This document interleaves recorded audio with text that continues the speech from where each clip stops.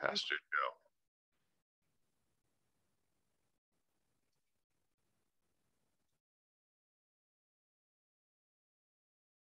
Over to you, Pastor Joe.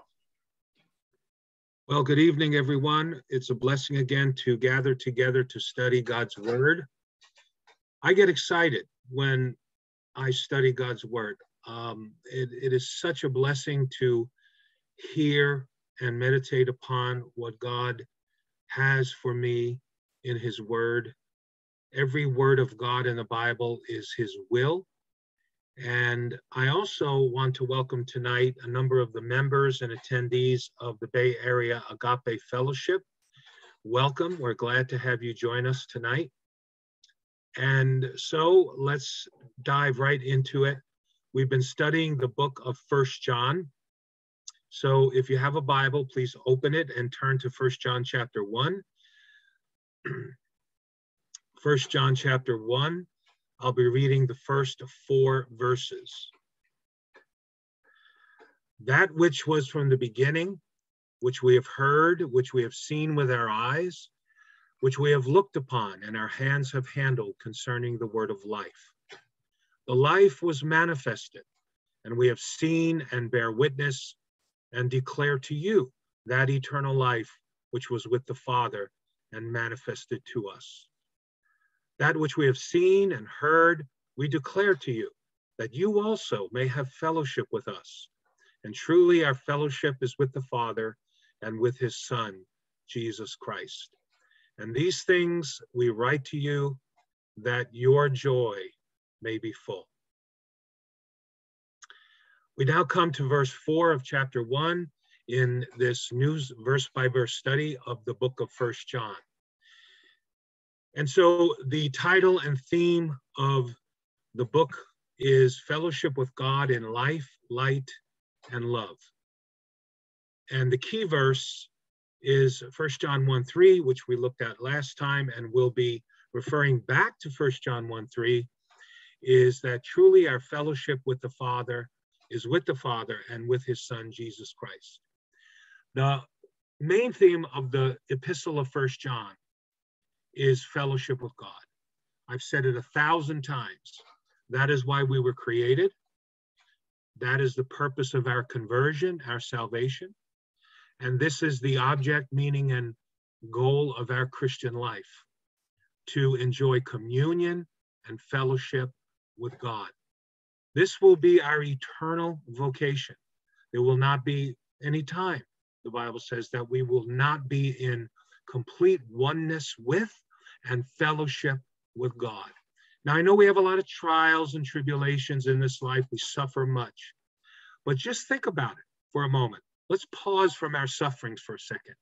You and I, as a Christian, a born again Christian, will enjoy eternal, never ending, unfathomable fellowship with the living God who is full of inexhaustible light, who is light, who is love, and who is life. It boggles the mind to conceive of that, but that's what we are told. Fellowship with God. And God wants to enjoy us to enjoy fellowship with him in this world as his people. Not only as a means of compensation and comfort in our trials and tribulations, but for its own sake. Fellowship with God to the end that we might know him and the power of his resurrection and the fellowship of his sufferings, being made conformable to his death.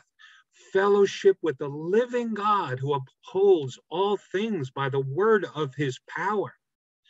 The God who created us, who has fed us, simultaneous with upholding the universe by his mighty power. Now, the Apostle John's first epistle shatters any misunderstandings we may have about true conversion, about sin, knowing God, love, obedience, prayer, spiritual life, the world, false spirits, and much more. While opening our eyes to these great truths, he brings enlightenment conviction and encouragement to us. But most of all, First John is a call to Christ Church to have fellowship with God. Fellowship is the heart of our relationship with God.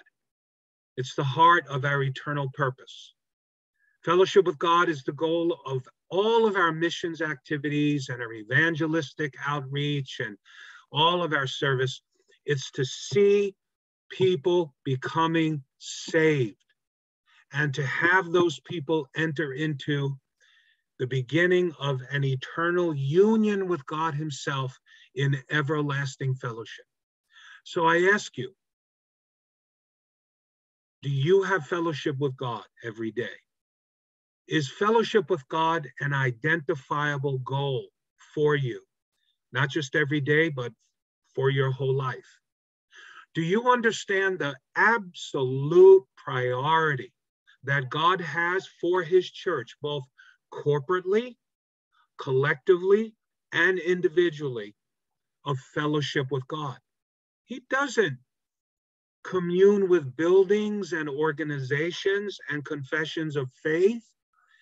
He has spiritual intimacy with human beings made in his image who have been given God given intellects and emotions and spirits for the design purpose of being raised from the dead, being quickened and equipped from above to enter into this glorious and mysterious communion and union with the living God Himself. Do you understand that that is your purpose and mine? That is your function and mine as Christians. I'm a Christian. Are you a Christian? Well, then your number one job is not your earthly vocation. It's not going shopping and fulfilling your checklist, although those things are necessary. Those we have to do as parentheses between our times of walking with God. But your greatest desire should be and our greatest zeal should impinge upon fellowship with God. We should have many times, frequent times, where we can't wait to open our Bible and to pray and to walk with God. However difficult that may be in starting out, however difficult it may be in persevering in that fellowship, yet the Spirit of God planted within our hearts longs and craves to know God, to walk with Him, and to have heavenly communion with Him. Can you resonate with that? Does your spirit testify that that is your number one desire? I hope so. I hope so. Because God is in the business of giving His people the desire of his heart, of their hearts, as long as they're conformed to God's will, because that is God's will. His number one will for his people is to fellowship with him. And so our text today, as we continue in our exposition of First John, is verse 4, the next verse. And these things we write to you that your joy may be full. What does this verse mean? I'm writing this to you, the Apostle John says, under inspiration of the Holy Spirit, that your joy may be full. He's saying to us the reason and purpose that he's writing to us, the reason why the Holy Spirit of God inspired the apostle, the reason why this truth in scripture is God breathed and given to John to pass on through writing to Christians of every generation is because it's God's desire and will that your joy and mine would be full. God doesn't delight to see his people walking around constantly with morbid and morose spirits, never having any compensation of joy from above. He's writing the scripture to teach us how to have that joy, to encourage us to partake frequently in that joy, to remind us that He has given us his Holy Spirit to provide that fresh joy from above. What a wonderful verse this is. And what does and why does the apostle John write about fellowship? That's the main theme of the Bible, and that's the main theme of First John. First John repeats the main theme of the Bible many, many, many times, more than any other books, I think, in the Bible, as short as the length is of First John. Percentage wise, proportionally, the theme of fellowship is repeated more than any other book uh, in the Bible. And the reason is that our joy may be full. Fellowship with God should always lead to some amount of joy. Let me ask you a question. When you read your Bibles, do you sometimes feel joy? When you meditate on the glorious truths that the Holy Spirit opens for you as you meditate on the scripture, do you have a smidgen of joy sometimes? When you pray to the Lord and you freshly remember the attributes of Christ, the love of Christ, the sacrifice and atoning work of Christ on your behalf. Does your heart well up with joy? Well, there's a reason for that. It's God's intention to have you partake of his joy. He wants you to taste of it. He wants to remind you with tokens of joy what awaits you in heaven in spite of your trials. That's a glorious fact, my brother. You see, in the book of First John, the apostle has a lot to say about the world. One of our three main enemies, which is the lust of the flesh, the uh, the pride of life, and and um, the world, the flesh, and the devil. Well, that's five enemies, but among the world, the flesh, and the devil, the world is one of those enemies. And John has a lot to say about the world in First John. But frequently, the antithesis, the opposite of the world, which we are reminded of, is a remedy for our suffering while we're in the world, is the joy of the Lord. And John emphasizes that the world is not capable of providing the joy of the Lord. The world has a false joy, a temporal excitement about futile, vain, and perishable things. But this joy is given by the Holy Spirit, not by anything in the world. And if we get excited about something in the world, we need to think twice about that because everything of this world is vain and perishing. Now, the joy of the Lord, as I suggested, springs from fellowship with God, which is the theme of the, of the epistle and the purpose of salvation.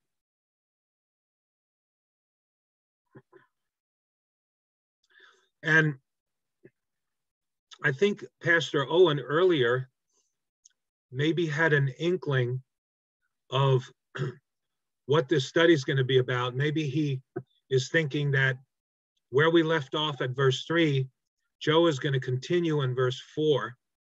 And he began to pray at least three or four times in his prayer about the joy of the Lord. I noticed that. And I prayed with him about that because I knew what the theme of this study would be.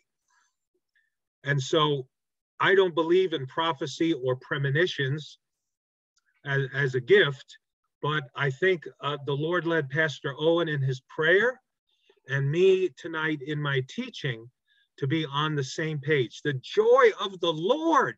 I think of those first century Christians who were persecuted, who were burnt at the stake, who were nailed to crosses, who were thrown to the lions, who were deprived food, who went hungry, they lived in caves, they were persecuted, they were, uh, their families were taken away, their possessions were, were stolen.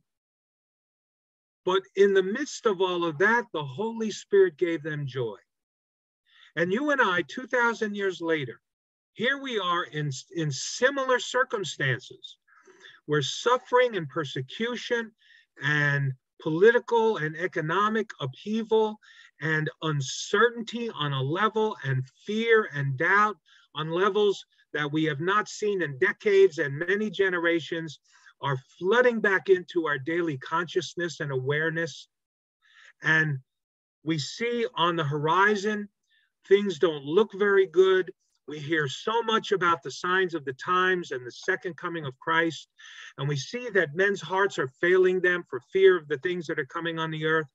But God's promise from the Father of the Holy Spirit to fill Christians, his people, those who are born from above, those who love Christ, those who have put all their eggs in one basket spiritually, those who have laid their lives down at the feet of Christ, those who have laid their lives down on the altar of sacrifice, service, and dedication of our all to Him are promised by God that we can have the joy of the Lord. And we do have some of that joy in the worst of circumstances, so that no matter how things get in the future, no matter how bad they get, we are promised the joy of the Lord as our strength. Do you believe that? I know you do. I know you do. So let's look away from our troubles for a minute. And let's remember this glorious promise of joy, the joy of the Holy Spirit. We're going to get into it tonight. And whatever trouble and despair and depression and discouragement you may be experiencing, remember God presents a platter to you. And on that platter are the fruits of the Spirit. And one of them the second greatest on the list is the joy of the Holy Spirit. Or the third on the list love, peace, joy. Joy. And that joy, I believe, will strengthen us and carry us through. The Holy Spirit is such a great expert in reminding us of doctrines and truths connected with our salvation, connected with our assurance and our eternal security, connected with the promise that we cannot lose our salvation and that God will never leave us nor forsake us, and that nothing shall separate us from the love of God. The Holy Spirit is a master at pulling up truth concerning the blessedness and the preservation and perseverance of our salvation to excite us and to remind us while we're in the fiery furnace of affliction that nothing of this earth can pluck us out of the Father's hand. Nothing. Not height, not length, not depth, not Satan, not hell, not demons, not the government, not threats of loss of any kind, not the loss of a job, not the loss of health, not old age, not friends betraying us, the joy of the Lord through all of it, even tenfold more than that,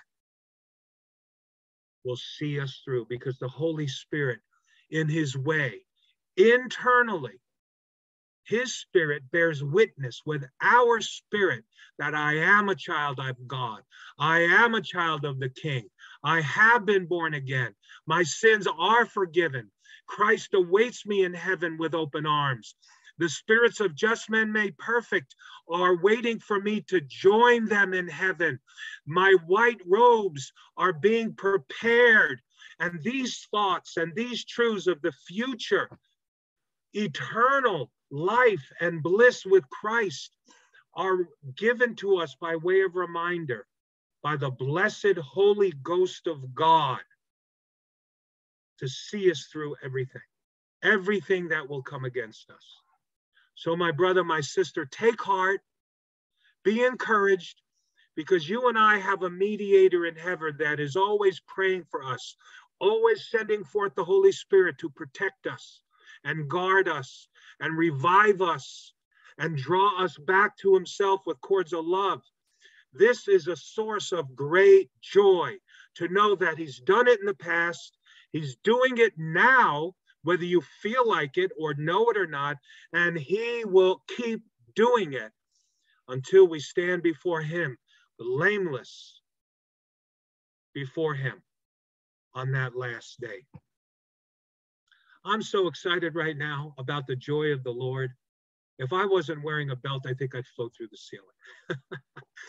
I'm in I'm so glad I'm in the company of my brothers and sisters, the saints of God that that know what I'm talking about is true from scripture and that can rejoice with me that in Christ we have a reservoir and a well of joy that is promised to us and is given to us. Amen.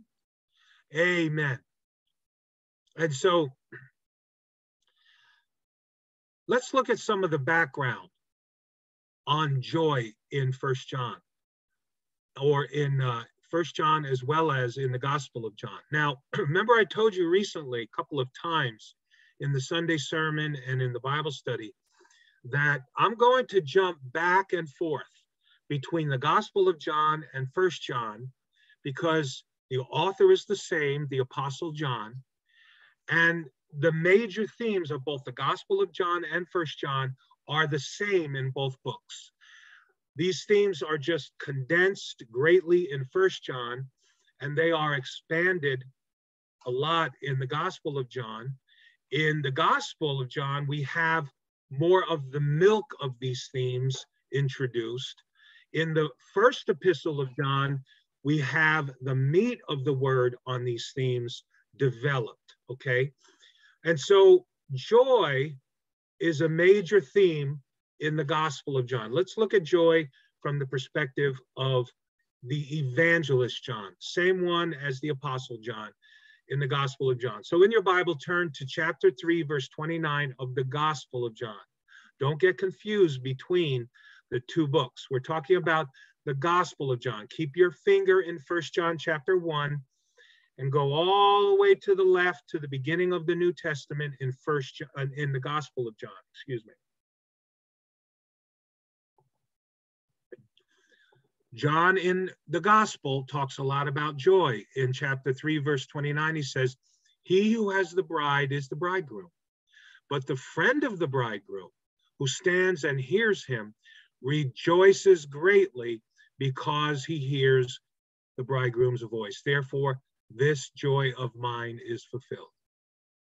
And so, believers hear the voice of the bridegroom, Jesus Christ, and we rejoice. We have joy.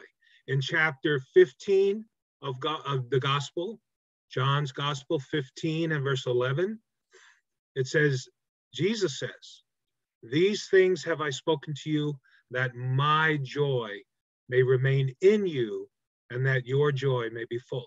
Another purpose statement. John says the same thing in 1 John 1 4, our very text. He says, These things I've written to you.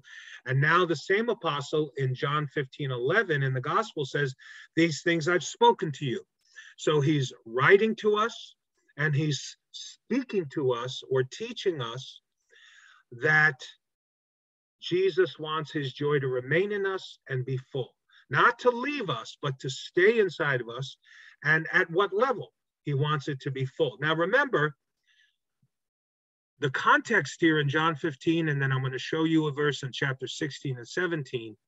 In John chapters 13 through 16, we see our Lord's upper room discourses where he, he experienced and observed the first Lord's Supper with his disciples, and then he laid down a number of upper room teachings and sayings that basically all reviewed the pri- spiritual priorities of his three and a half years of teaching ministry on earth. He reviewed all the major spiritual discourses and doctrines of his earthly ministry. And in chapters 13 through 16, we find three verses on joy. Now, remember, the apostles, 11 of them are up there. Judas Iscariot went out and hung himself. So there's 11 of them up there, and they're discouraged. They're hearing things like uh, from the Lord saying like, I'm going to be taken from you. The son of man is going to be crucified. He's going to be, he's going to be uh, mistreated and cruelly treated. And the disciples are starting to get sorrow in their hearts. And what does he say to them? He says, These things have I spoken to you, that my joy remain in you, and that your joy may be full. I can imagine old, impetuous Peter. He wasn't old at that time, but I can imagine him thinking or responding, Lord, Lord, why do you have to leave us? Why are they, why are they taking you? I'm discouraged. I'm sorrowful.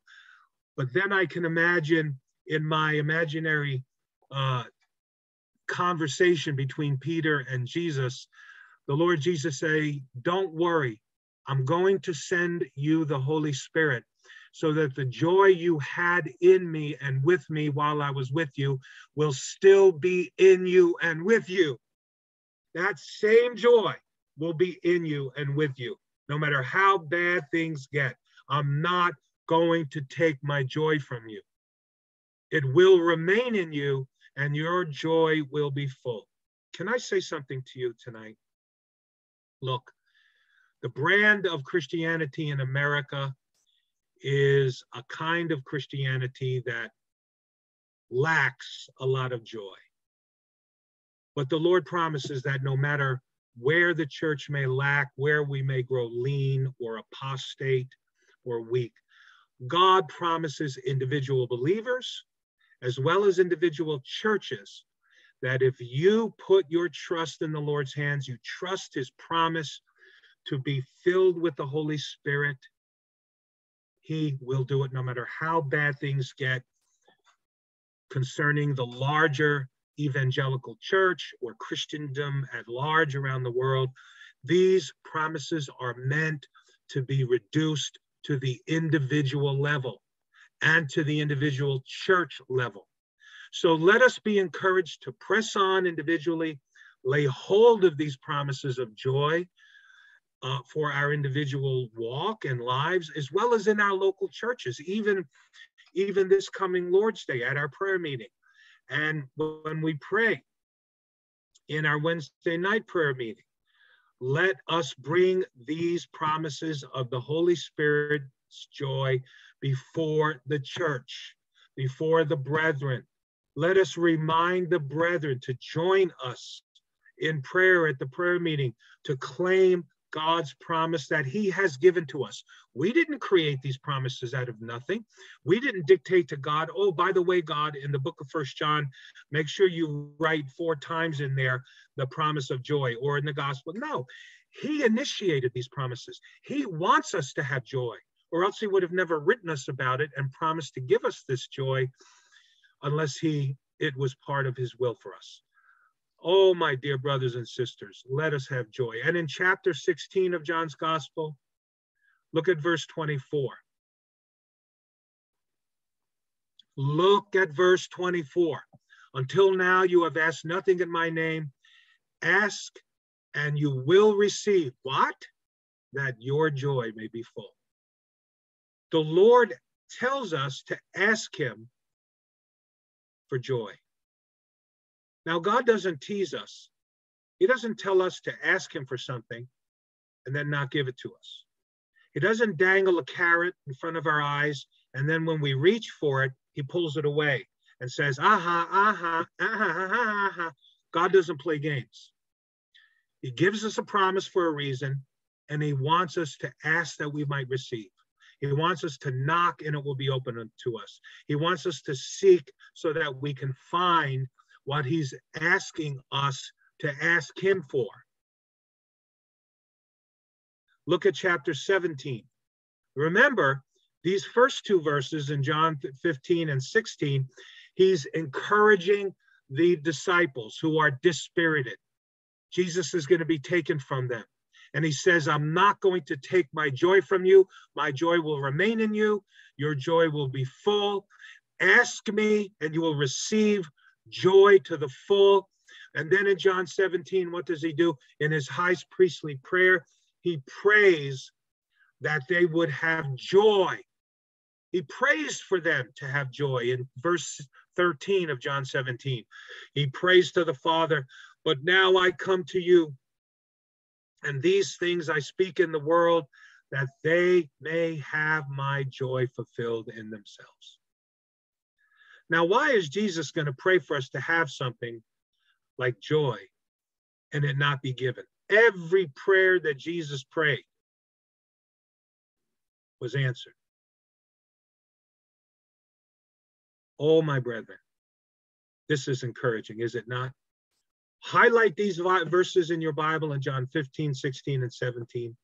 If you're a highlighter, if you're like me, um, you're one of those who highlight profound verses that stand out to me or promises like this. Keep them in mind. Bring them before the Lord during your prayer time. Write them down on your prayer list. Start to pray about them. Lord, I need more joy in my life. I haven't experienced joy in a while, Lord, and I'm going through trials right now. You know how discouraged I am. Oh, Lord, increase my joy. Lord, you promised. You promised here. It's, you told me right here in John 15 and John 16 and John 17, Lord, are not these promises mine? Make them individual, claim them for your own as if you were the only person in the whole world. Lord, tell the Lord, Lord, didn't you give me this promise? Please, Lord, pour out floods of joy on the parched ground of my heart, and I'll praise you, and I'll be quick to magnify your holy name. Moving on then. Joy is depicted in the Bible as a normal and regular Christian experience in the epistles. Joy is not only for second tier Christians, super Christians. And by the way, there's no such thing as a super Christian. when you become a Christian, you receive the Holy Spirit. The Holy Spirit is given to us upon conversion. Who do you think converts us? Who do you think regenerates us? Who do you think comes inside of us and gives us a new nature, a new heart? Who do you think changes us from the inside out? Who do you think stays with us from that time forward? The Holy Spirit. And how can we have joy unless the Holy Spirit is inside of us, rekindling joy with our spirit and in our spirit? And if he commands us like he does in First Thessalonians 5:16, turn over to, to 1 Thessalonians 5:16, where he says, rejoice always. If he commands us to rejoice always, he will give us grace to do it. One of my favorite verses, turn there, is 1 Peter 1 8. 1 Peter 1 8.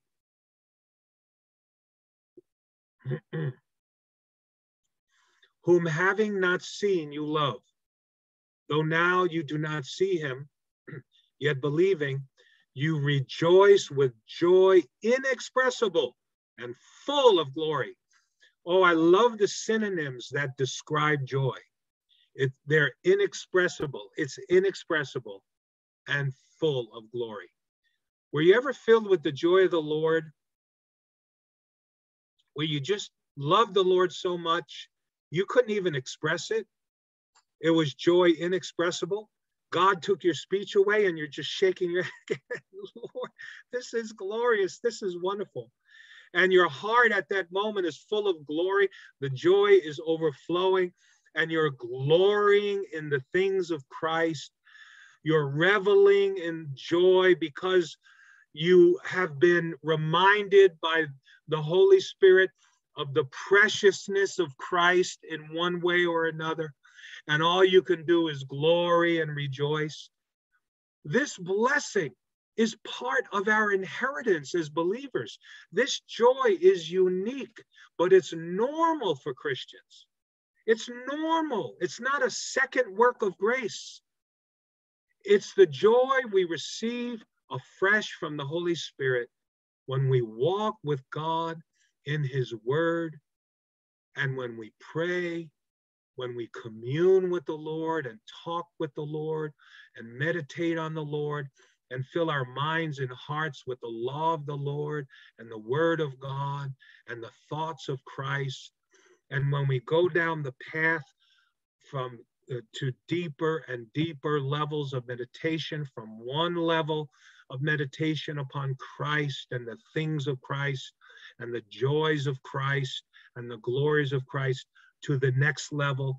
The Holy Spirit comes alongside of us at that moment. He is dispatched from the Lord Jesus and he opens up the caverns of our mind to the hidden recesses of joy in those things of Christ. And that's why it's so important. If you want more joy in your life, if you want to revel in this great inheritance that God has given us, which is Christ Himself, then spend much time in the Word of God every day, not just five minutes. Spend hour after hour in reading and meditating on the Word of God. Set aside all of the things that bring the world in. Shut the world out and bring Christ in through the Word.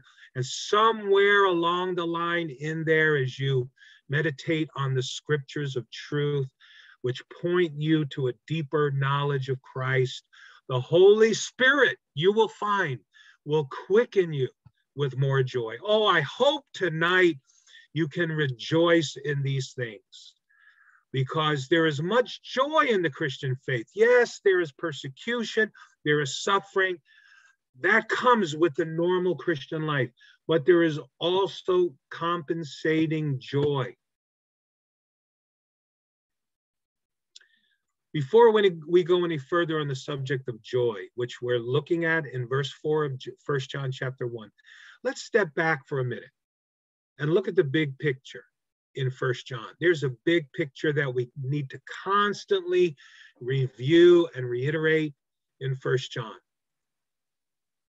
The content of First John is so important that a big picture look is, is critical for us from time to time. The content of First John is critical because it helps us review from time to time to reinforce the very present points I'm making. Now, there are three big ideas that are interwoven in First John. There are three big picture truths that are interwoven and interlaced in First John that the apostle constantly reiterates. Okay? And as we review these interrelated truths, we are confronted with practical tests of our Christianity, practical measures to see if we have the joy, if we are Christians, okay? And we read in First John chapter 5, turn back, you should have your finger in First John, turn back to First John Okay, I'll give you a second to do that because this is very important. First John chapter 5 and verse 13. This is another one of those statements where he says, These things I have written. There are several of them in First John. Purpose statements. This is a purpose statement. And he says in First John 5 13, These things I have written to you who believe in the name of the Son of God, that purpose you may know that you have eternal life and that you may continue to believe in the name of the Son of God. So here's one of those big idea statements in the Gospel of John. One of these purpose statements telling us why he has written First John to us. And he's saying that as Christians, we have many doubts, we lose the assurance of our salvation. We backslide from time to time. Uh, and God wants us to make sure that we're a true Christian and our joy is revived from time to time. And to have joy return, we need to go through a series of tests that, that God would apply to our hearts to bring back, as we test and examine ourselves as Christians, the joy of the Lord. And for those who are only false brethren and professing Christians, these tests will help them discover that they are not saved, that they are not converted, they're Christians in name only and not in truth. And it will help them and lead them to trust in the Lord Jesus Christ as their Lord and Savior. And so that they could set aside religion as their religion and bring Christ in as their faith and their joy and their salvation. now, the, let me give you three of these big tests, okay, that you're going to find are repeated in First John through all five chapters. These three tests are scattered throughout the book several times, okay? And they have to do with practical Christianity. They have to do with your walk and your relationship with God because everything is about relationship. The whole the whole Bible is about relationship because the intention of the Bible is to bring us into first of all a saving relationship with Jesus Christ as our Lord and Savior. And then after that to deepen an ongoing relationship with God until we are taken by the Lord. And that ongoing relationship based on the saving relationship is described in First John as fellowship. Fellowship. That's the main theme of First John and the main theme of the Bible. Now, one way first, and that's one of the big ideas in First John that's repeated over and over and again, and it's interwoven with other big ideas, which I'll get to in a second. Now, fellowship with God. Are you following me? Anybody listening? Let me make sure you're listening. Okay, you're all there. Nobody dropped out yet. Okay, thank God. Okay, so fellowship with God, one of these big ideas in First John is described in another way. Remember, this is pragmatic Christianity we're talking about. It's described in walking in the light. Walking in the light.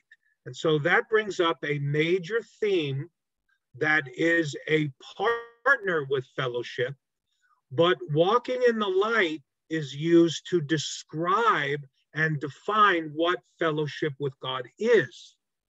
Okay, so fellowship with God is equated to walking in the light in the book of First John. This is the big idea in the book of First John.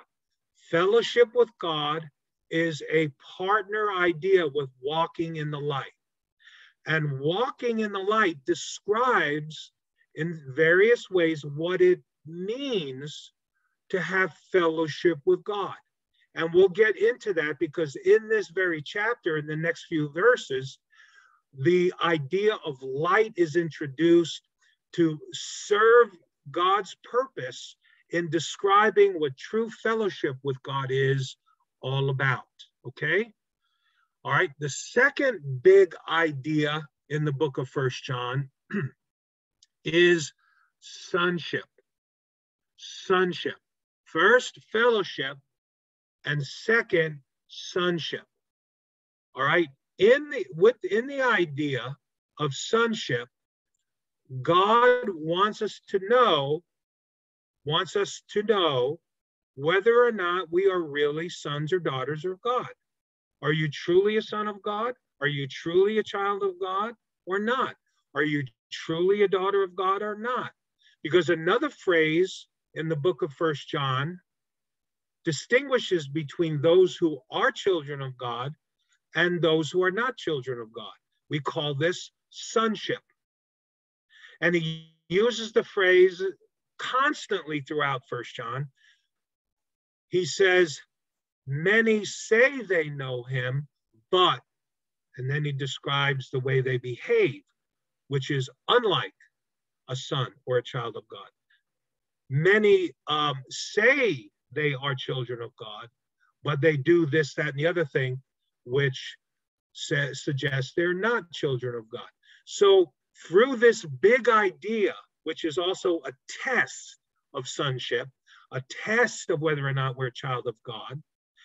He juxtaposes or he compares those who say they are sons of God and daughters of God to those who just and are really sons and daughters of God, to those who say they are Christians, say they are children of God, but when applying the test that God gives them, they are found out to be false. They are not true children of God. So, this idea of sonship is equated to practicing righteousness.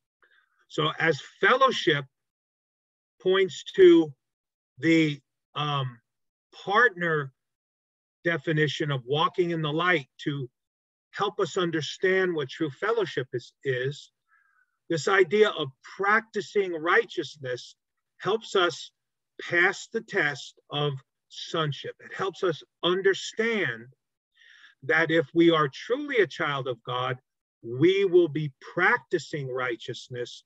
If we're not a child of God, we will not be practicing right, righteousness.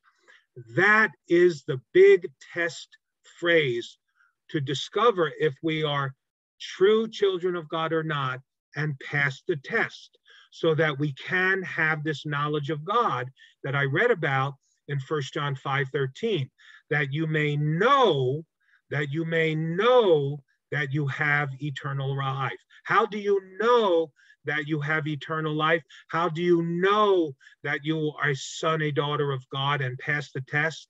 By practicing righteousness. So, first big picture idea is fellowship with God, which is tested by walking in the light. Second big, big picture idea in First John is sonship, which is determined by passing the test of practicing righteousness. And those two ideas of walking in the light and practicing righteousness are repeated and interwoven throughout the, the book of First John. Okay, and here's the, the last big picture idea, the, the third big idea in John is called abiding. Look up how many times the word abiding is mentioned in the book of First John. Now, I want to quickly say that this idea of abiding means that you are maintaining your heart knowledge of Jesus Christ. You are walking in the spirit with Jesus Christ. That you may you have are experiencing the fruits of light, life, and love. Three other main themes in the book of First John that constantly come up in First John. When you abide with Christ, when you have this spiritual intimacy with, intimacy with Him, these three things are going to be renewed in you His life, His light, and His love. They will reemerge they will spring up as a well of water unto eternal life within your spirit. Okay? But that's not the key phrase that is the, the helper to understand abiding. The key phrase to understand and to help abiding is faith and love by the Holy Spirit. Faith and love by the Holy Spirit. So, just to quickly review, the big idea of fellowship is defined by a secondary phrase, walking in the light. And we'll get into what that means soon in another study. The second big idea is sonship, which is strengthened and defined by the term practicing righteousness, which is a phrase woven throughout First John. The third big idea is abiding, that is, maintaining intimacy with Christ. It's another way of saying fellowship with Him, yes, but it has its own aspects to it that are different. So, abiding is defined by this idea of the Holy Spirit providing fresh faith in Christ as the Son of God and fresh love for the brethren and love for everybody. You cannot abide with Christ. You cannot be a true child of God, this idea of sonship, and can, cannot truly have fellowship with God if you do not love the brethren. You can't abide unless you love the brethren and unless you have faith in the Jesus, the Son of God, as your Savior, and maintain that faith in Him your whole life. Okay?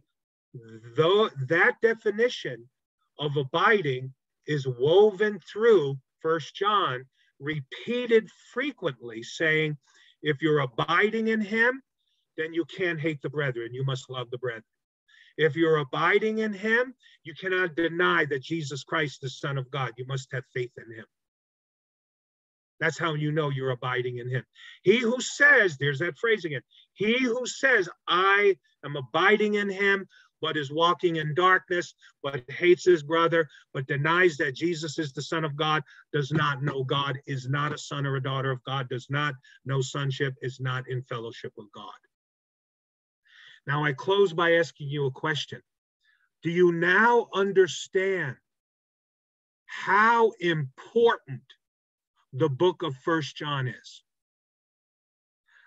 I read the book of First John. Why? Because I'm special? No.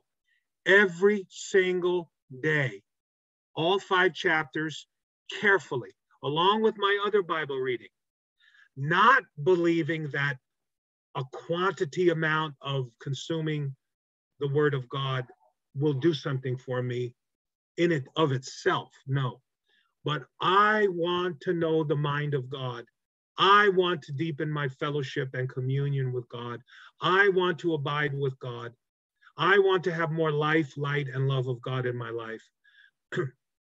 I want to have more assurance of my salvation. I want to pass those tests when applied to me by God in the Spirit. I want to have more joy in the Holy Spirit in my life.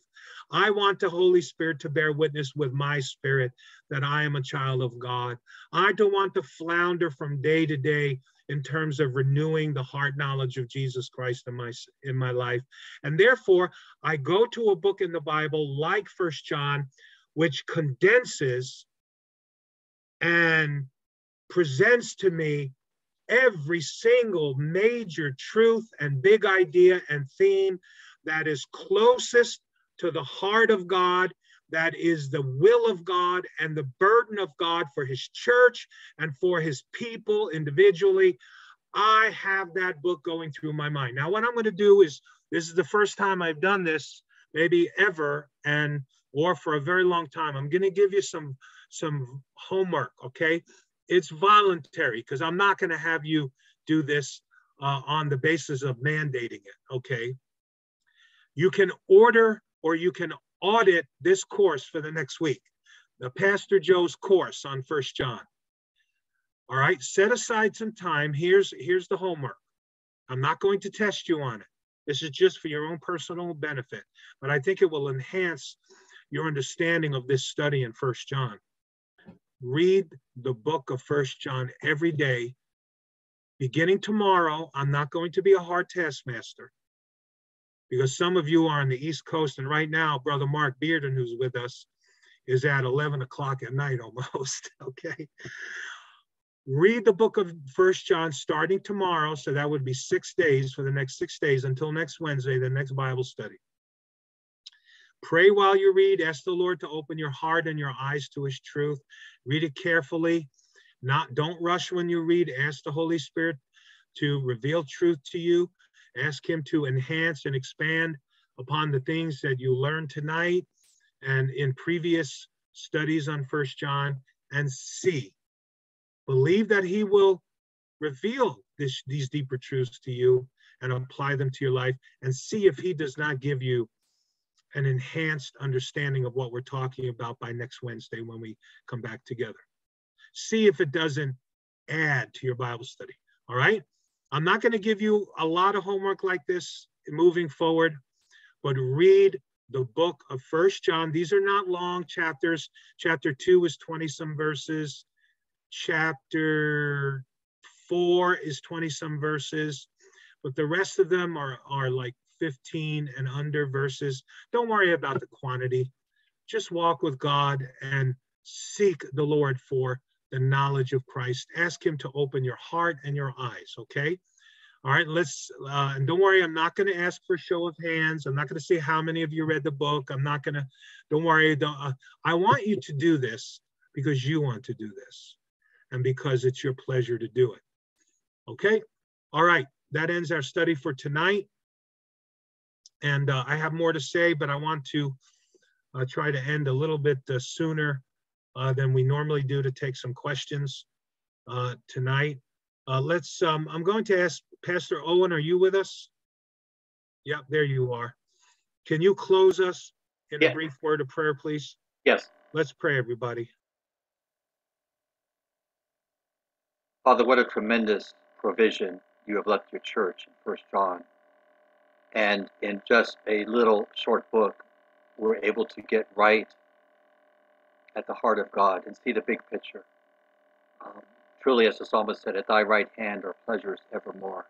Well, help us to stay at thy right hand that we might derive that joy and that blessedness from walking with you and uh, these these principles and the light, life and love of um, you um, and the Lord Jesus Christ and the Holy Spirit, applying them to our heart, uh, might be our portion in this life until we make it uh, until we make it to heaven, when these things will be such of a super reality um, in our life.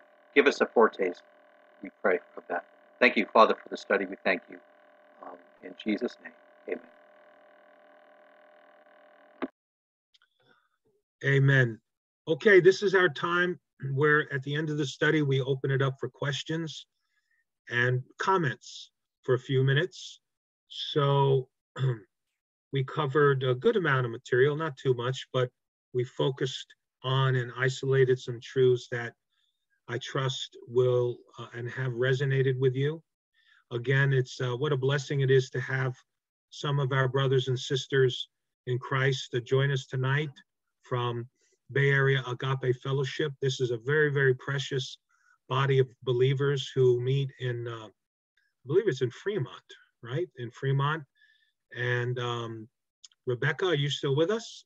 Maybe you Ye- can. uh, yes, I am. I Yes, I want, am. on behalf of Christ Bible Church and the other brothers and sisters tonight, I want to express our delight uh, that you and the others have joined us and uh, welcome you. And um, we, uh, in many ways, are a sister church with you, and it is my blessed pleasure from time to time to minister the Word of God to many of you uh, at the church. And uh, so, welcome.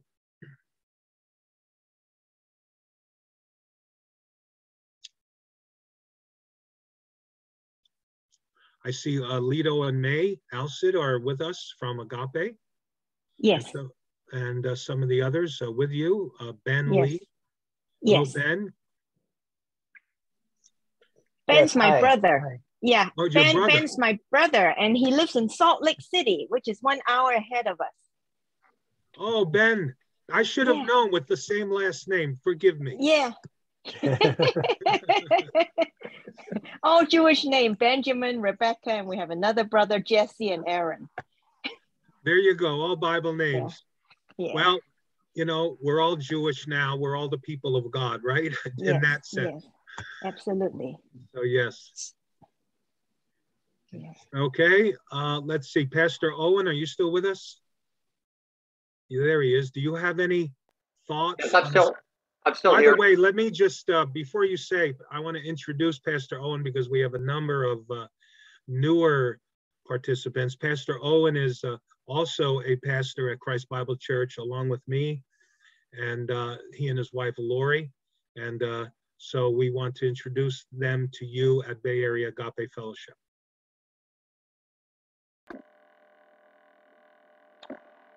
Um, yeah, me. Um, I, I appreciate the study tonight um, and, and the companion verse to a couple of the ones that you shared. Of course, uh, the one I, I mentioned in my prayer uh, is it Psalm 16 or Psalm 110? I get those two mixed up. But um, at thy right hand are pleasures evermore. And as we stay at the right hand of Christ, in close in fellowship, like, like you mentioned uh, tonight, uh, Joe, the natural byproduct of that is joy unspeakable, King James, joy unspeakable and full of glory. So um, uh, thank you for the study. I had uh, that particular verse in my notes further on down in the study, but I only got about halfway through the study. I have about 20 other verses on joy to share with you next time, God willing. Um, I wanted to linger on this verse for a little bit, uh, maybe a, a, couple of weeks, uh, today and next week.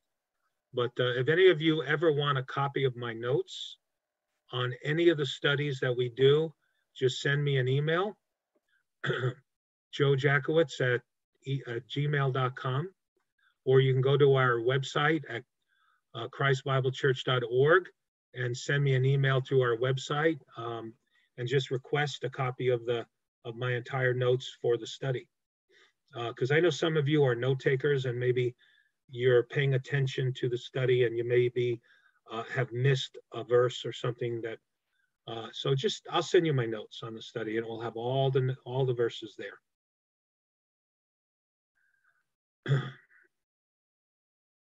uh, Brother Will Brown, who was a deacon at Christ Bible Church for over 20 years, and he and his wife Janet have uh, joined us, said, Will, do you have any thoughts on the joy of the Lord?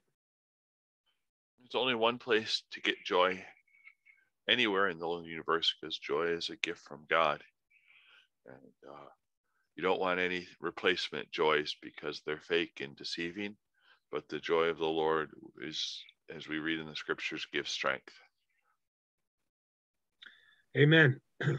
Anybody have any questions?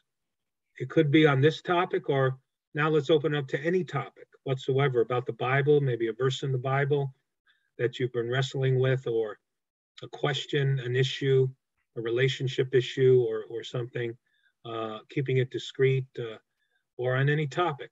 Uh, we'll endeavor to relate, God willing, the Bible to whatever the whatever the question is.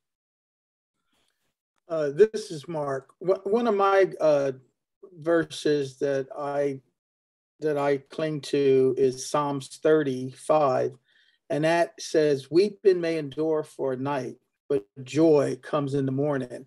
And it's one of those things as we deal with these trials and tribulations, and it seems to get dark at, at times that God encourages us that joy is going to come in the morning. And and and when I think of that morning, if we talk about the morning star, is that talking about Jesus? Is that you know uh, uh, that phrase the way it's written? You know that joy comes in the morning, and and Christ is referred to as that morning star. Amen, brother. Joy comes in the morning. Yep.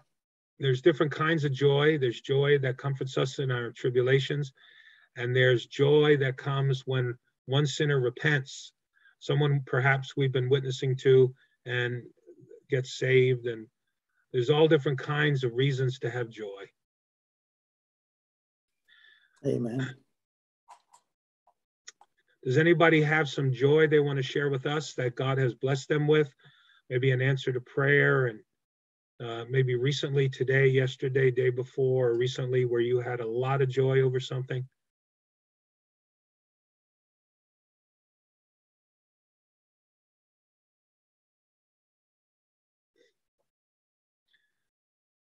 All right. Well, if there's no questions or comments, um, what a blessing it is to see all of you again. We encourage you to uh, feel welcome, to invite uh, others. We're going to continue on verse 4 next week. We'll finish up verse 4 on the topic of joy. We're also going to expand a little bit more on how joy relates to fellowship and, and the themes of abiding with Christ, and uh, the other themes we talked about, the big ideas from First John. And uh, so uh, feel free to, to bring others like our sister Rebecca invites, uh, to invite others. Send them a link to the study, uh, which you can find on YouTube. Go to Christ Bible Church's YouTube site, and you can cut and paste the link at the top in an email and send that link to several, maybe 5, 10, 15 friends, and they can listen to the study. Uh, and then uh, you can send them the email invitation that you received, which has the link, the Zoom link to the study, because the Zoom link is always the same address, and they can uh, come and, and join us. Okay, that would that would be appreciated. Daria, hi, good to see you. How are you tonight?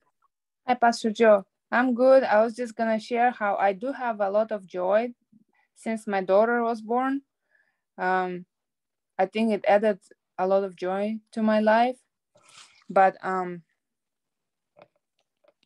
also sometimes I do feel like Martha. Like like on Wednesday, you were talking about Christians who serve a lot and don't just sit down and the seat of, at the feet of Christ. Sometimes being a mom is so busy that I don't necessarily have the quiet time for myself. So I do feel like maybe it's just a season in life to be like Martha, but it will change eventually. Nothing I can do about it now. Well, that's that's our hope is and when, when we all have that tendency to be a Martha, but that the Lord plants his seed in us. That is, when we get saved, he gives us the Holy Spirit to live inside of us. And the Holy Spirit changes us and makes us a new creation in Christ. And um, so my point is, that we we do have a war against sin and a struggle, but um, the the bad news there's bad news and good news. The bad news is that the the biggest no-no in the Christian life is to be a Martha. That's the worst thing that could happen to a Christian. Um, physical health problems and other problems, persecution, suffering, is not the worst thing that can happen to a Christian because um, the joy and peace of God and the love of God is is always our compensation in those circumstances. But when we become a Martha, we lose the most important, precious thing we have is conscious daily fellowship with Christ and the assurance and peace and communion that brings with it. Okay. Um, so that's the worst thing that can happen is to shift your focus and temporarily stop fellowshipping with God and get caught up with worldly cares and shift your focus from Christ to religiosity and to churchianity. That is, exchange your fellowship and close walk with Christ for the substitute of religion to salve your conscience. So, the worst thing that could happen is to become a Martha, where you stop fellowshipping with God and you exchange that fellowship for serving God and just going to church, thinking it's a substitute that will that will suffice. That's the worst thing that can happen. So whenever you get there, Daria, or any of us, including myself, you know you're in the worst possible circumstances you can be. And it's probably accompanied with blindness and forgetfulness that you don't even realize you're in that terrible situation. The, here's the good news. Ready for the good news? The good news is that the Lord knows that, and He knows we get caught in the quicksand of that blindness and that deceitfulness, temporary deceitfulness.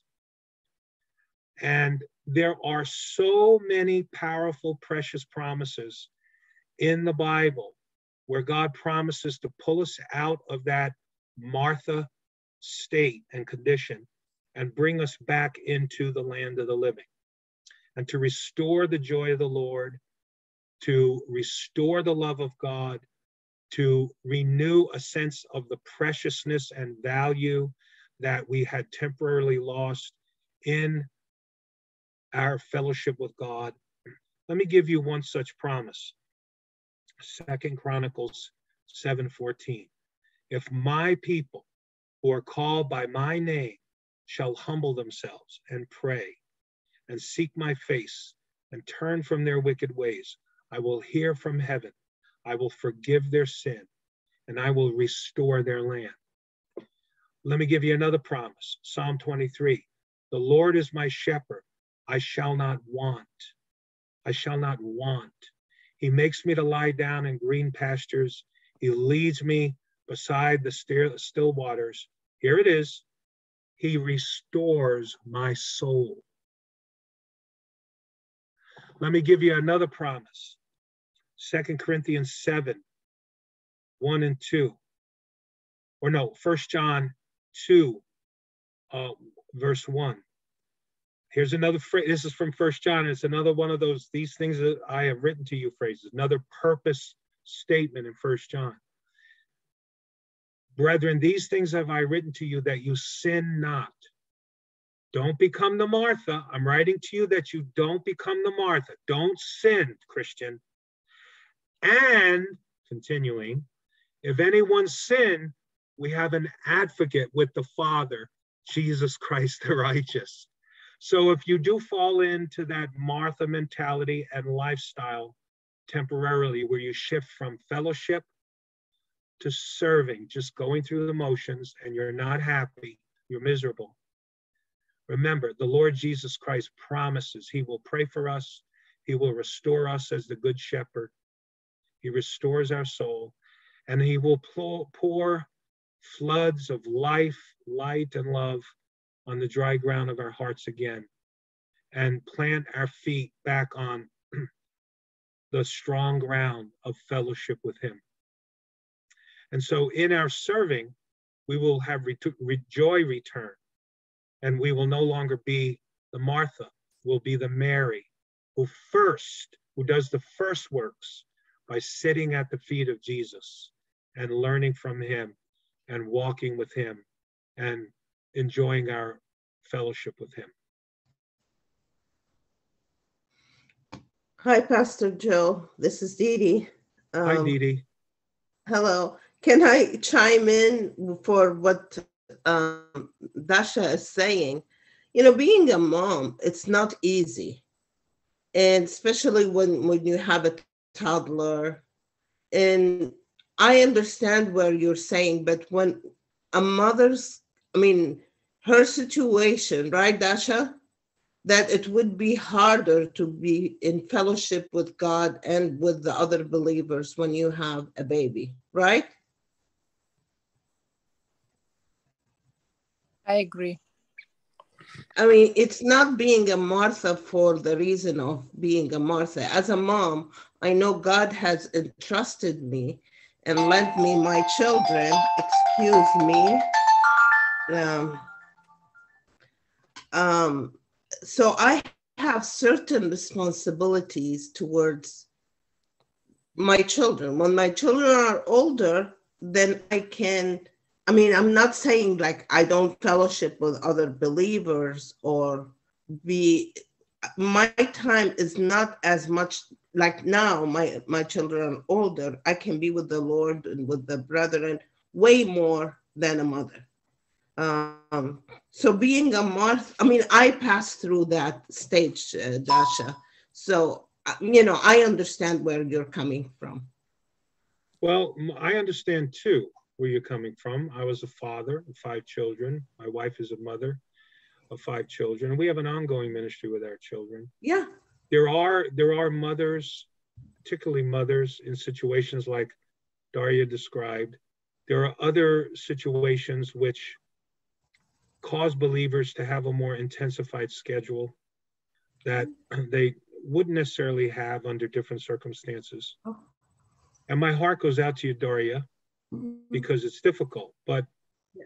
every Christian, everyone, not just mothers, has intensified things come up in their life at one time or another, whether it's running after a toddler or working 60, 70 hours a week in the Bay Area, two jobs to provide for a family as a breadwinner, and you have maybe just a couple of hours a day of discretionary time.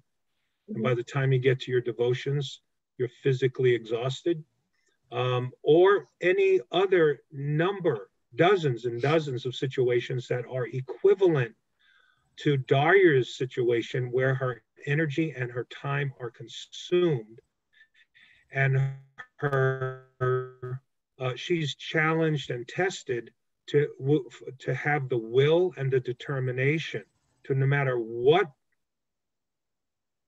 what happens, she's going to stay up late or she's going to get up early enough or find time when her daughter naps to Yeah, get with the yeah. Lord. Even, even so, any, anybody, every believer is being tested by a, a similar situation where our time that we may be used to have to fellowship with God for hours and hours is suddenly taken away. So I Mhm. don't, I don't see Daria's situation as unique where she has, she can say like a Martha, you know, I'm in a, I'm in an unusual situation and therefore, um, it's, it's going to be like this for a while and I can only read a verse a day. Um, the Bible doesn't allow Mm. for such for such uh, situations where we can forsake. When we read Psalm 1, it says, Blessed is the man who walks not in the counsel of the ungodly, nor stands in the path of sinners, nor sits in the seat of the scornful. But his delight is in the law of the Lord, and in his law he meditates day and night. And he shall be like a tree planted by the rivers of water that brings forth its fruit in its season, whose leaf also shall not wither, and whatever he does shall prosper. We have a picture there of a believer um, who does not does not go into the presence of the world, does not bring into the world into his life. He only has so much time anyway. He's redeeming the time. He shuts out the world. But regardless of our lifestyle, how busy it is, how exhausting it may be with little children or at work or working 70 hours a week, like like Isa Mhm. does, or whatever sit whatever his schedule is. Um, the difference with a believer is that he or she delights in God. Amen. And Amen. that believer is going to find a way through the wisdom of God, is going to find the time to meditate on the on the law of the Lord day and night. He's going to find a half hour here, an hour there, a few minutes there. He's and even when he's he's uh, not reading or praying, he's maintaining his fellowship with the Lord so closely with a clear conscience that the word of God is on his mind. And when he's doing other duties that he or she must do, he's Mhm. meditating on the things of the Lord. So he's even Amen. using that discretionary time, not discretionary, even that time that he's driving or shopping or something Mhm. to meditate on the things of the Lord. So none of us have, you know, though our hearts go out to you, Daria, as I do, um, and as anyone else, um, there's no excuse. No excuse. The child of God who has the Spirit of God in him or her is driven by desire to find a way. Mhm. And we have to use wisdom too. You have to use wisdom, Daria. So when, when Josephine goes down for a nap, you got a choice. You're exhausted. Uh, are you going to take a nap too, or are you going to use 10, 15 minutes of that nap to read the word? Uh, you know what time she gets up in the morning usually, maybe not the same time every morning. Are you going to get up when she gets up and start your day frazzled, or are you going to set the alarm clock and get up an hour earlier and spend a half hour in the word and a half hour prayer so that when she wakes up, you're ready for her spiritually. You're you're you're got layers of spiritual fortification ready to deal with uh, her her thing. When she goes to sleep at night, if she's going to sleep when she wants to go to sleep, well then your husband and you need to sit down and, and talk and say, we need to figure out a plan. You need to come up with the wisdom of God to make her go to bed earlier. So instead of going to bed at 10 or 11 o'clock at night, when she goes to bed and finally goes to bed, we're going to have to go through this one or two month process where we're going to have to train her to go to sleep at a certain time. We're going to have to discipline her if she doesn't until she does, even if she just lays there in bed. So that by eight o'clock at night or whatever time you guys decide as parents, we're going to have two to three more hours before we go to bed to be able to Mm. pray together or to be able to read the word individually and pray. And so that you're reading, you find the time, morning, noon, and night to meditate on the word of God. That's how you do it. You need wisdom and discipline. You need these practical things, redeeming the time. Um, every hour matters mm. in the day of a Christian. Every single hour matters if you want to be someone whom the Bible describes as a godly Christian who has answered prayer, who has assurance of salvation frequently, who has more of the joy and peace of God in his or life, her life than they will ever know. That is reflective, reflective of a disciplined Christian life. Such a believer who lives a godly lifestyle like that cannot afford to waste one hour a day. We only have two or three or four discretionary hours for most of us, unless you're retired, like Brother Mark Bearden, who's blessed. But you got to be careful that you don't fill up your schedule with make work things that are vain and frivolous and full of entertainment, because then your mind gets dumbed down and you lose the joy of the Lord. So it's your what what you know, choose you this day whom you will serve. It's a matter of that. I don't mean to be harsh or cruel. I certainly sympathize with you.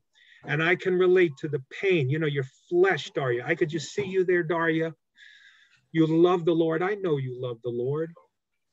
You love the Lord and your flesh is crying out and you you want to go read the word, but you have this daughter here, you love her, and she's just wasting your time and you're you know, and, and she won't listen to you at times and and it's just it's so frustrating. And and you know, what do you do? Some of it is beyond your control. But the first thing you have to do is get the situation under control that you have control over and reduce reduce the squandered time to an absolute bare minimum uh, to the time that you have no control over, um, where you have to do certain things with Josephine and you have to. But milk, milk, and filter out probably the wasted time and have the strength of will to do it. Mm. Say, I want God to be number one in my life. I don't even want my daughter or my husband or my wife or my job, as important as family and um, making a living is, and all these things, they cannot replace God. And I need strength from God and determination that they won't. And therefore, I'm going to have to say no. I'm going to have to say no to a close family member. I'm going to have to say no to the world. I'm going to have to turn off the videos. I'm going to have to turn my head down to my Bible from a screen and read my Bible. It's simply as a, as a matter of that. Do you think the, the Holy Spirit's going to flood back in by competing with the world? We're bringing the world in and then we're going to try to bring him in. You cannot serve God and mammon. Friendship with the world is enmity with God.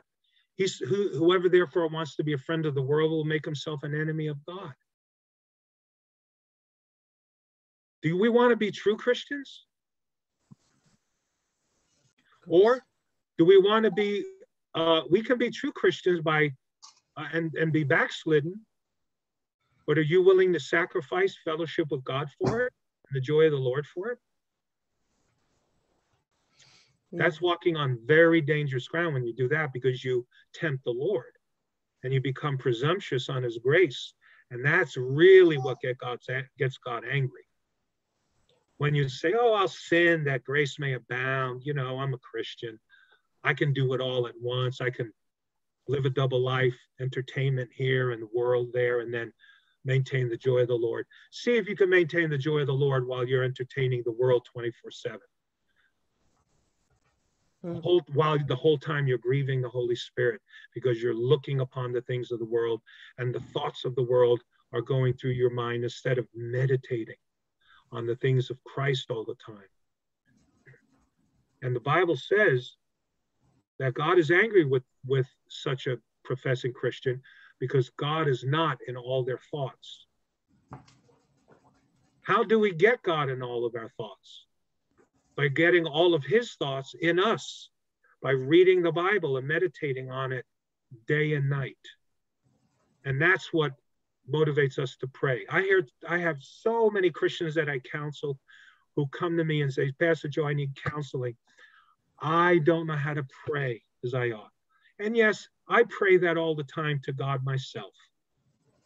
But the inability to pray is greatly reduced to a bare minimum when we fill our minds and hearts with the word of God day and night and cut out the world, because that's when the Holy Spirit draws near to us and prompts us to pray, teaches us how to pray, and puts God's petitions on our heart to pray those prayers that God wants us to pray according to his will. That's how it's done. I love you. You know I do. But it's hard doctrine. Sanctification and practical Christianity is hard doctrine. Yeah. Yeah. Yeah, well, I have to say something uh, about Dasha. With our group meeting with the, the ladies' prayer, Dasha is there every single time, and she will be one of the first. So I know exactly her heart. So probably prayers are due for Dasha to be able to, be, I mean, be less Martha, or you know, kind of God will. Um, guide her how she can serve him and serve her family. And I agree with you, Didi, and that is an appropriate word of commendation for Daria. Even though we have our spiritual struggles, there are some believers who are like clockwork and faithful to God in most other things. The difference is, and, and I and I address Daria now, because I know Daria too. The difference is in the cross of the Lord Jesus Christ, the solutions and remedies for these frustrating things to want to be more godly, but we have a schedule mm. or a situation with us, the solutions and the wisdom we need to get victory and to get triumph and to conquer over these things, Daria, that you just described, is found in the cross. So the answer that I gave you is one thing, but the victory over it so that you're you're be you're able to spend the time that you want as I described and defined before you is by faith in the Lord Jesus Christ. In Christ we have all the riches of the wisdom and knowledge of God. So he awaits for you to pray to him, to trust in his blood, his shed blood, to realize that a huge application of his death on the cross is only for Christians, not only for unbelievers to save them and to justify them, but his shed blood was also is was also shed in applying to Christians who, who go to him and believe in him for the answers and solutions to tough questions, to stubborn issues that we keep stumbling over go to the Lord Jesus Christ because if you tap into his the grace of his cross and and that he awaits to give you as his child as a believer the solution and the wisdom and the knowledge and the remedy for your specific situation will come. It will come. And you will get the victory through christ um, christ's um, prayers for you, for his shed blood for you, to make you more victorious and mature as his child. But you must believe in the work of his cross. And he knows, go to him, believe in him. And, and the answers await, and the discipline and the strength and the insight to apply it will, you know, it'll come to you. The wisdom will come to you. And you'll find yourself strong and you'll take your daughter, you sit her, sit her down, and the light will shed, will come into your heart, and this is what you're going to have to t- say, and the, and the wisdom will come, and you will go to your husband and you'll talk about it, and you'll say, "Here's my problem. I need help. Would you pray with me?" and you know, and then you and your husband will come up with a solution, and uh, you will you will sit down with your daughter, and you'll you'll have a transition with her but you in the solution you will have the strength and the confidence of will to know that this is the answer from god because his word confirms it. His word gives you direction on it.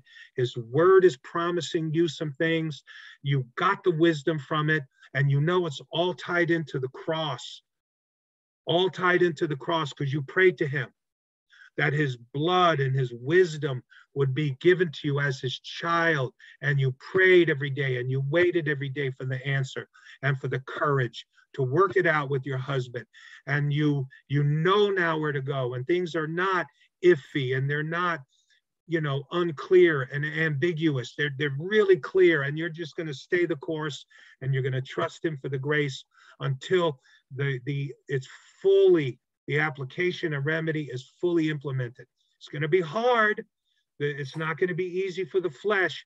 But if you know God's will, his perfect will, and the wisdom and answer is given to you, and the promise is given to you for help from him, then you're going to stay the course and you're you're not if people don't like it, they don't like it. You know, pray for love, pray for patience uh, for those who don't agree with you, but it's got to be done because you know it's the will of God.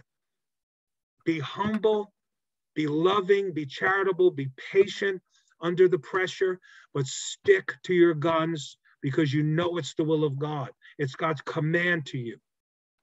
And you would rather suffer loss from people than displease God when you know to do right in an area and you don't do it. Your conscience will, uh, will be afflicted by it. One of the things I've learned raising Paige was maybe she didn't understand many things being young, but uh, she would see me on my knees praying and I and talking to God and and then she would talk to God. She would pray and, and one of the joys that came out of that is like wow, my daughter's learning how to talk to God by looking at me and and yes kids are going to be antsy and kids are going to not be uh, full focus but i'll tell you a, a, daily dose of that when they see you uh, giving your heart to god and, explaining to them it, they might not understand it but they're going to look at that example and they're going to want to imitate their parent. And and and when they start talking to god it can just give you joy knowing that god my child is learning to talk to you, and that's the most important thing. Amen. That's a great example, brother Mark. Thank you. And this is I'm gonna this is the last thing I'm gonna say to you, Daria, before I have to go now. The very fact, Daria, that your heart is burdened about this issue, and your heart is burning with the desire to spend more time with God in prayer and in Bible reading. Even though it's hard for you to get as much out of your devotions as you want to when you pray and read. And even though you're not spending the time that you want to in there, God has put that on your heart to not let this issue go. And by faith, you're seeking answers, you're pursuing solutions. That by itself is from God. So you are on the right path. And let me encourage anyone else of you who have situations uh, frustrating situations where you want to go deeper with God, but you come up with these satanic attacks of the enemy. You come up with all these areas of weakness and and stumbling blocks and snares and frustrations that you can't get over and seem to to get more of that joy and spend more time with the Lord and get more fulfillment and gratification out of your relationship with God let me encourage you number one that the very fact that these issues won't die in you and you're not going to give up even though you're kind of in the quicksand and paralyzed with with uh, fr- frustration you keep sending up those prayers you keep crying out to God for help. You keep asking him for wisdom and God will not let you down because God says, I, it, it, draw near to me and I will draw near to you. And it's a sign that God is working in you to eventually overcome these things. So don't give up, Daria, okay? Pray about it every day. Even if you can't get away for a longer period by yourself because of Josephine, when you do take five minutes here or 30 seconds here or a minute here and send up a prayer to the Lord, make it a sincere prayer let there be fervency and urgency in it. Let there be desperation in it. Tell the Lord that you you're not going to be able to do this and, and fellowship with him like you want to unless he helps you. Remind him that he's God. He knows your need. He knows your situation. Go just pour out your heart to him every day in one way or another. And and you know, make sure you your sins are confessed and uh, but do that every day and you will see an answer little by little to to these prayers and you will see your desire fulfilled to to spend a lot of time with god. All right? And listen to this study again. Go over it again if you have to. Two three four times. Certain truths have to be burned deeply within us because we're very forgetful. Go over it again. Look up some of the verses that were given, some of the counsel that we gave you. Because this is not my word, this is God's word, God's promise to you. Why? Because He loves you. He's your child, you're His child. And in this most important area of His will for you and for me, we know what, what He wants us to do. And everything he commands us to do in the Bible, he gives us the skill and the gift and the power and the open door and the opportunity and the ability to do it. Again, God does not frustrate nor tease us saying, do this and not and then not enable us to do it and to do his will. Tell him you're weak, you're helpless, you're hopeless to do it unless he helps you. But if you cast yourself on his mercy, if you cast yourself completely on Him for the strength you need to do it all, He will look at you with eyes of pity. As a father pities his children, so the Lord pities those that fear Him, for He knows our frame. He remembers that we are dust. Father in heaven, I pray for my dear sister Daria. Lord, you know her heart, her desire. And I pray for my other brothers and sisters, for all of us who are in the same boat. We want to spend more time with you in your word, more fellowship with you. We love you, Lord. We want to know you. You are our great reward. You are our inheritance. You and your love and joy and your presence in our hearts and lives are, are the greatest thing we desire. So hear us, Lord. Give us the solutions, the wisdom, the leadership, the, the, the strength to resist everything that would keep us from, from spending more time with you in your word and prayer. For this is our prayer in Jesus' name. Amen. Love you guys. God willing, um, next Wednesday at 6.30, please try to join the prayer meeting if you can. If you can't, I understand it because some of you folks may be meeting up, may be inviting others. Send them the link to the study we did. It's going to be uh, reco- it's recorded. It'll be on YouTube. It will also be on Facebook, and you can send people links.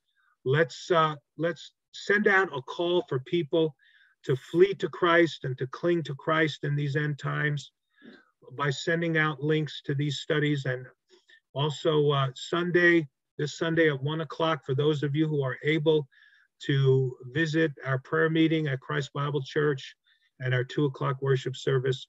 Uh, I'm going to be continuing my study in the one o'clock hour on prayer and revival, something related to it. And then at the two o'clock message will be on the Gospel of John. We're going through the companion book of the Gospel of John on Sundays when I speak. Don't forget Pastor Owen's series on Jonah. He's going through the book of Jonah every other week, and I'm doing the Gospel of John. Lord bless you, everybody. I love you guys. And uh, may the Lord keep you. Okay? Press on. We only have one life to give to Christ. You see, it's not how you start that matters, it's how you finish. So run that you may finish the race. Amen. Thank you. Thank you, Pastor Joe. Thank you. We, we are Amen. happy to be here. God bless Yes. you. Yes. And my, yes. my greetings to the Bay Area Agape Fellowship. Yes. oh, Thank you guys thank are you. agape, all right. God bless you all. Thank you, Pastor Joe. Okay. Thank you.